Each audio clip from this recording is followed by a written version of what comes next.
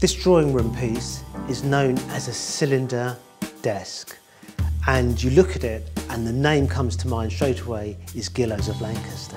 Made around 1785 and made up of various timbers such as yew mahogany, ebony and cedarwood.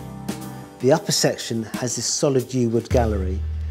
Then you have a little bookcase section here. You keep your best books in there so they didn't fade or be exposed to the light. Brass grills are original. In the cylinder part itself, it has a fully fitted interior. This comes up as a little reading slope. And it has an inset uh, leather there. But, as we mentioned earlier, the magic name, Gillows.